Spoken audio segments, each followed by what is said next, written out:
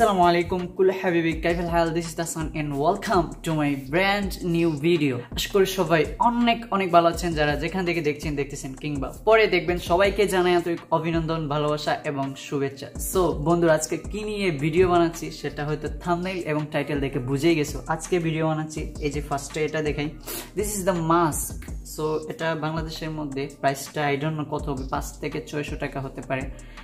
এটা চায়নার একটা তৈরি করা মাস্ক অ্যান্ড এটা ব্যবহারের কারণে ভাইরাসটা খুবই রক্ষা করে। এটা খুব ভালো একটা উন্নত মানের একটা মাস্ক।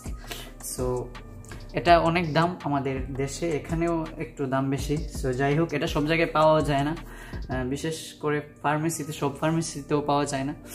এখন এই মাস্কটা কিনতে গেলে অনেক টাকার প্রয়োজন হয়। সো আমি আজকে তোমাদেরকে দেখাবো কীভাবে একদম নর্মালি সহজভাবে মাস্ক বানাতে হয়।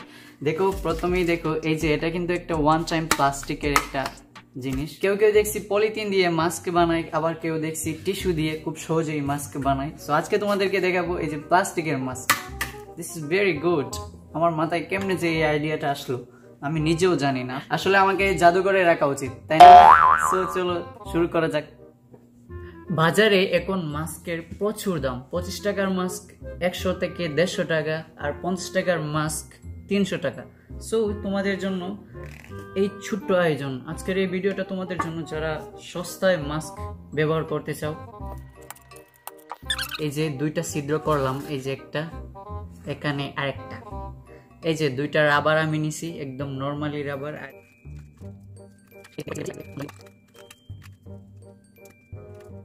দেখো, এই প্লাস্টিকের মধ্যে ওয়ান টাইম এর প্লাস্টিকের দুই সাইডে আমি দুইটা ছিদ্র করে রাবারটা জয়েন দিয়ে দিছি।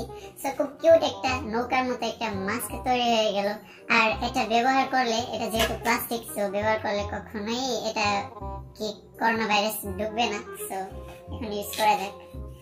ঘরে বসে বসে শুধু আলু আর শুটকি খেয়ে পেটের গ্যাস্ট্রিক না বাড়িয়ে মাঝে মাঝে নিজের ক্রিয়েটিভিটি আমার মতো মানে কাজে লাগাও ভাই দেখছ?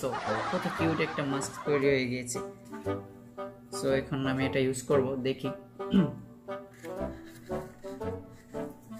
সিরিয়াসলি গাইস অবশ্যই তৈরি হয়ে গেল মাস্ক এই যে দেখো অনেক ভিআইপি বড় লোকের মাস্ক আর এটা আমার মতো গরিবের। সো আমার আইডিয়াটা কেমন লাগল অবশ্যই কমেন্ট করে জানাইবা। এখন আর এটা রেখে লাভ নাই। দেখো কেমন, ও জোস একটা মাস্ক এমন আইডিয়া মাঝে মাঝে কাজে লাগাইবা ব্রো ওকে লেটস গো